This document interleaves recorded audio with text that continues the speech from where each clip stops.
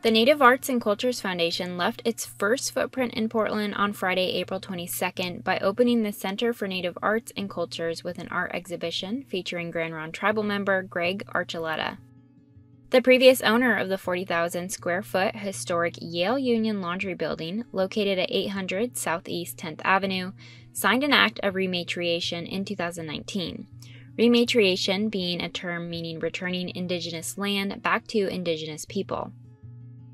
In February of 2021, NACF and the center's CEO, Lulani Arquette, received the gifted building title with the specification that the space remains a space for art. And they did just that with the Where the Waters Come Together exhibition. As an organization that hasn't had a footprint in Portland, that we are mindful of the tribes that have been here for time immemorial first series of programs are really focusing both on not only just the local tribal artists, but um, artists that have been in the area for a long time. That's Powhatan Confederacy descendant and the Vice President of Programs and Partnerships for NACF, Barbara Mumby Huerta, during a tour of the center on Friday, April 29th. Um, and it's really about how the waters bring us together, which is kind of an homage to the building and the fact that we do sit on top of a, a tributary, and how this was an area of confluence, an area of coming together. The inaugural exhibition featured seven Native artists and ranged from interactive three dimensional pieces to 300 year old artifacts. Archuleta's pieces displayed on their own wall in the gallery. A caption next to his work describes his passion for sharing the Grand Ronde tribe's econom and traditions.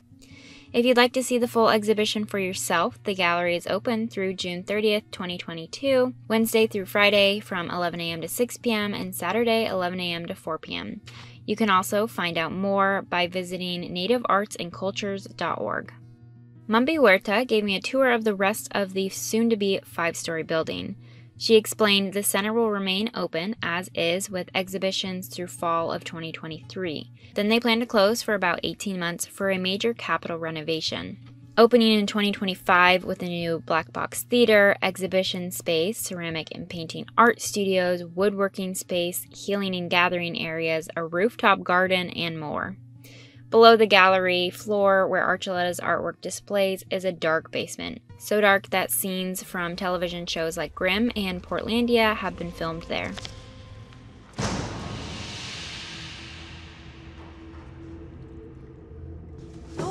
Just under the basement floor, a tributary leading to the Willamette River runs beneath it. Mumby Huerta says they plan to engineer a way to open up that floor so the community can once again have access to the water and turn that dark, slightly eerie basement into a community meeting space intended for reflection, healing, and gathering. Until then, the water remains guarded by this rubber ducky. The third level will be dedicated to artists. Flexible spaces will be put in for making art, painting, and ceramics.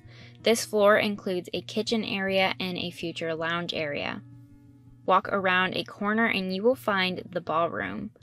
You can tell by my enthusiasm and echo that this space is big and surprisingly beautiful. Oh my gosh! Above this floor, a rooftop garden will be added during the renovations.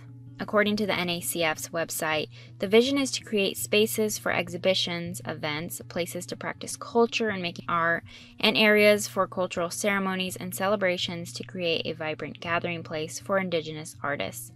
Mumby Huerta says in September 2022, the Center for Native Arts and Cultures will be hosting its first large Native artist gathering with around 400 Native people from across the country. A community day will be held with traditional canoeing, exchanging of gifts, and an exhibition at the center with art, performers, and foods to welcome Indigenous people back into the space.